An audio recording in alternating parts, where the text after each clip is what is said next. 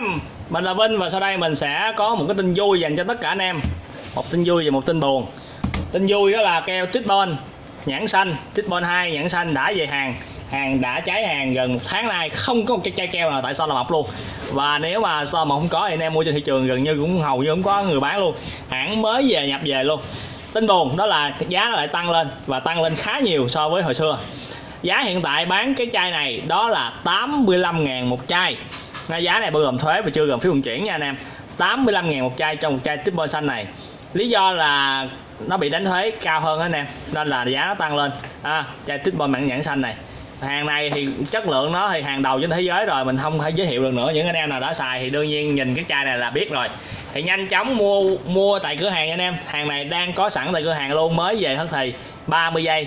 À dạ anh em chạy qua cửa hàng mua lẹ nha số lượng không có nhiều nha. À, cái này bán rất là chạy luôn.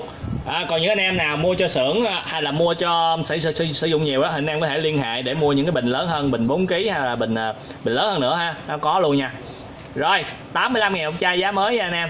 Cập nhật cập nhật 85 ngàn. Ok cảm ơn em đã xem cái ờ, chương trình này. À, nhớ đăng ký chia sẻ video này. Tôi là Vinh xin chào biệt và hẹn gặp lại.